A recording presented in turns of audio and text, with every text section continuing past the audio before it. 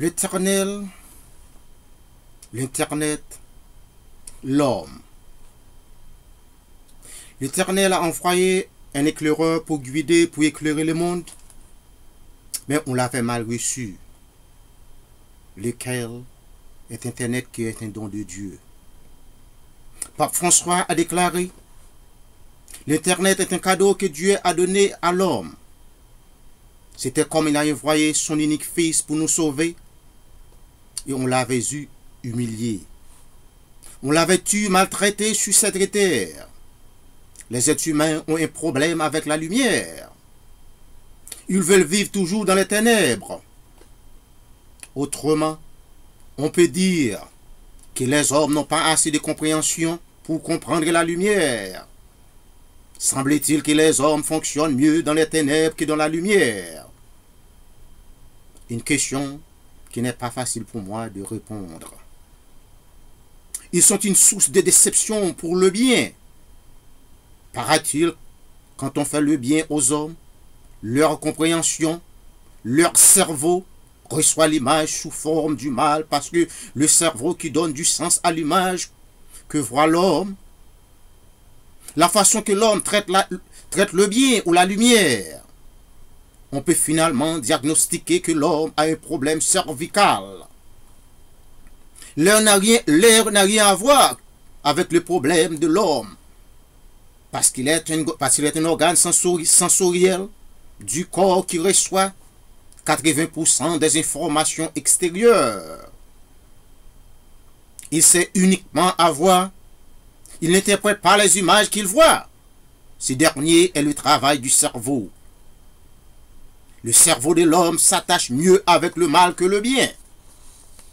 Mais nous n'avons pas espéré de vivre dans le monde que nous vivons à présent, lequel l'Internet le rend sans frontières ni barrières.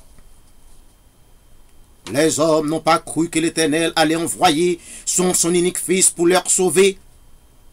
Ils n'ont pas eu de connaissance, de compréhension, pour révéler que Jésus-Christ était venu sur la terre pour les sauver.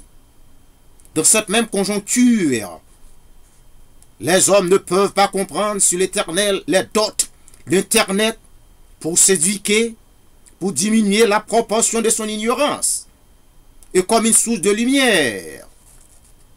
Malheureusement, les hommes utilisent la lumière comme une source de ténèbres, et le bien comme un instrument pour évoluer le mal.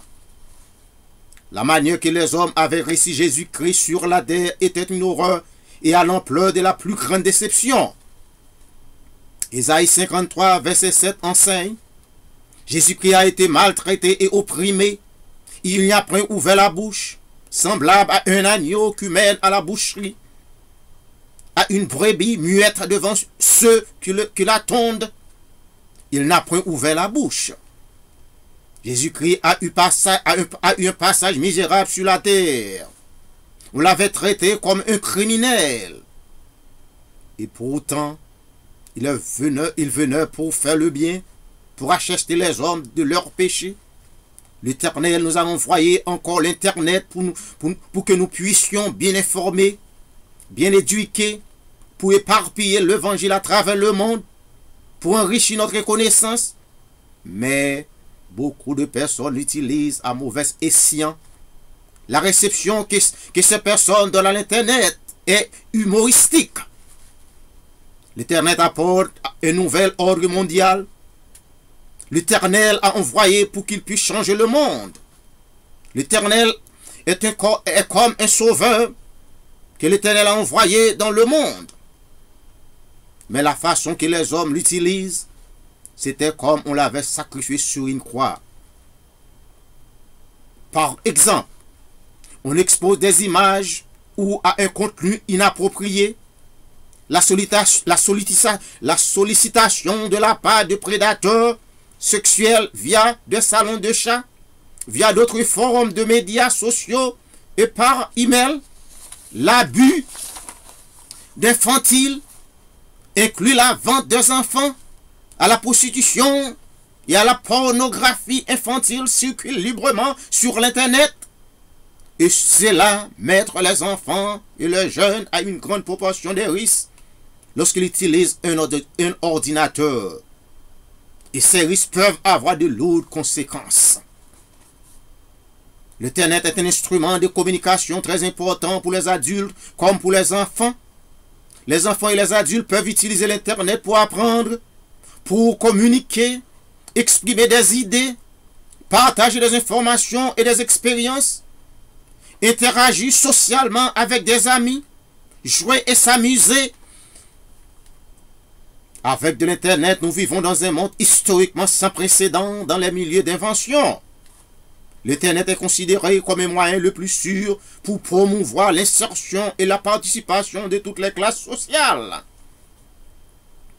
On peut dire que l'Internet rassemble tous les enfants de Dieu au-dessus d'un parapluie. Il transforme le monde comme une poignée de main. L'Éternel a mobilisé tous ses enfants vers l'attente d'un objectif commun. L'Internet est un puissant instrument pour évangéliser le monde. Il nous offre la possibilité de communiquer, de rencontrer nos sœurs et frères à travers le monde. Avec l'Internet, chacun de nous devient un citoyen du monde. Tous les ports ou les frontières s'ouvrent avec cette technologie. L'Internet permet à l'homme d'acquérir une nouvelle façon de percevoir le monde. Si l'homme s'utilise l'Internet à bon escient, il pourrait l'aider à connaître une multitude de bonnes choses. Mais les hommes doivent apprendre à écouter, à apprendre. Ils doivent prendre conscience d'eux-mêmes. Je ne veux point juger, mais je conseille que l'Internet est un instrument éducatif. La façon qu'une personne l'utilise, c'est le résultat qu'il va trouver. L'Éternel ne va pas indiquer à personne comment il doit utiliser l'Internet. Il ne veut pas s'imposer sur l'homme. Dans toutes les choses, il y a le bien et le mal. Comme on peut utiliser l'Internet pour faire le bien, il est possible de l'utiliser aussi pour faire le mal.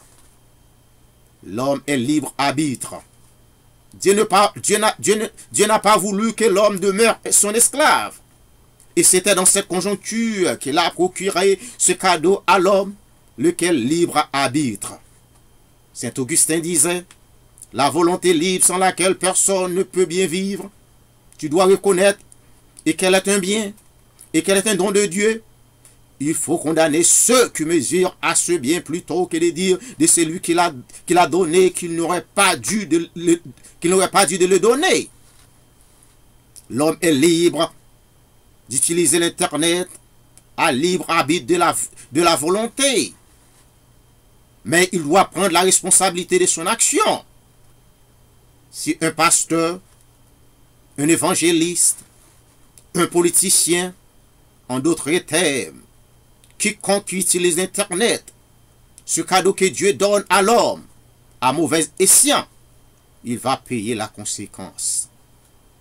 À l'Internet, la jeunesse et les adultes se trouvent en face d'un monde rempli de terribles fausses valeurs. La mission de Jésus-Christ sur la terre était pour acheter l'homme, pour lui sauver.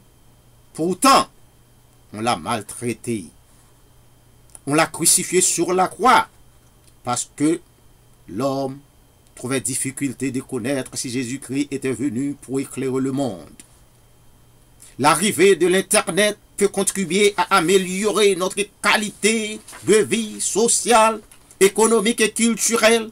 Cependant, plusieurs l'utilisent à des mauvaises fins.